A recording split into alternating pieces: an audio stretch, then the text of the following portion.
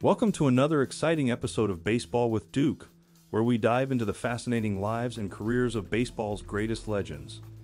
In today's episode, we bring you the captivating story of Gary Edmund Carter, a renowned professional baseball catcher whose impact on the game is etched in history.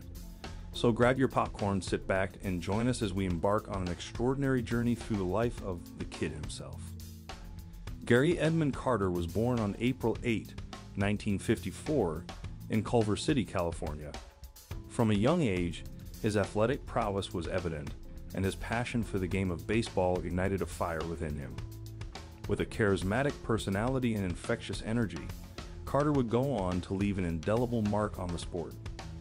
Nicknamed the Kid for his youthful exuberance, Carter's 19 year Major League Baseball MLB career was primarily spent with two iconic teams the Montreal Expos and the New York Mets.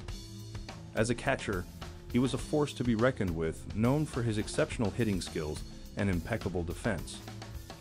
Throughout his illustrious career, Carter received numerous accolades, including being named an All Star an astounding 11 times. His contributions were pivotal in the Mets' 1986 World Series championship, where he played a key role in the team's triumphant journey to baseball glory. One of the most memorable moments in Carter's career came during the 1986 National League Championship Series, NLCS, against the Houston Astros. In Game 5, with the score tied in the 12th inning, Carter stepped up to the plate and delivered a game-winning single, propelling the Mets closer to their World Series dreams. And it was in the 1986 World Series against the Boston Red Sox that Carter's star shone even brighter. In Game 6, Facing a significant deficit, Carter kick-started a historic comeback with a crucial 10th inning single, fueling the Mets' rally and ultimately leading them to victory. His exceptional performance earned him the admiration and respect of fans worldwide. Not only was Carter a force on the field, but he also made history off it. He became one of only four individuals ever to be named captain of the Mets, a testament to his leadership qualities and the respect he commanded from his teammates. Beyond his achievements, Carter's personal journey was marked by triumphs and tragedies. Growing up in Southern California, he faced the untimely loss of his mother to leukemia at a young age. However, Carter's passion for sports remained unwavering, and he pursued his dreams with unwavering determination. Carter attended Sunny Hills High School in Fullerton, where he showcased his athletic versatility, excelling in both football as a quarterback and baseball as an infielder. His earned him a spot on the National League All-Star team as a right fielder. His selection was a testament to his skills and potential, and it laid the foundation for a career filled with numerous accolades.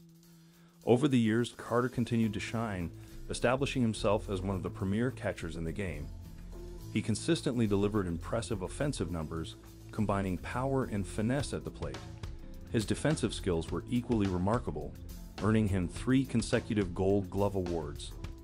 Carter's impact extended far beyond individual accomplishments. He was a team player and a leader, always willing to put the success of the team above personal glory. His infectious enthusiasm and unwavering dedication made him the beloved figure in the baseball community. However, as with any journey, there were hurdles to overcome. Carter's exuberant personality, his love for the limelight, and his penchant for seeking media attention occasionally drew criticism from his peers. Some believe that he was too focused on his image and not fully committed to being a team player. Nevertheless, Carter's contributions and impact on the game remain undeniable. In 1984, after several successful seasons with the Expos, Carter was traded to the New York Mets. This move presented him with new opportunities and paved the way for his ultimate triumph in the 1986 World Series. As his career progressed, Carter's statistics continued to impress.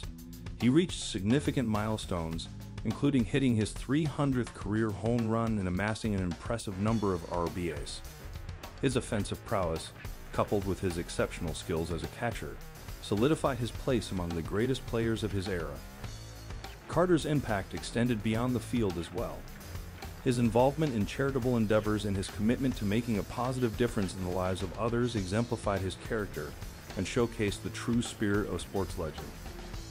In 2003, the baseball world celebrated Carter's achievements as he was rightfully inducted into the National Baseball Hall of Fame in Cooperstown, New York. His plaque stands proudly, depicting him as a member of the Montreal Expos, forever immortalizing his contributions to the game. Unfortunately, Carter's journey took an unexpected turn in May 2011 when he was diagnosed with an aggressive form of brain cancer. Despite his battle against this formidable foe, Carter's love for the game remained unwavering. He even continued to coach a college baseball team, refusing to let cancer deter him from the sport he cherished. On February 16, 2012, the baseball world mourned the loss of a true legend. Gary Edmund Carter passed away at the age of 57, leaving behind a legacy that transcends the game itself. His remarkable career, infectious personality, and unwavering passion for baseball continue to inspire players and fans around the world.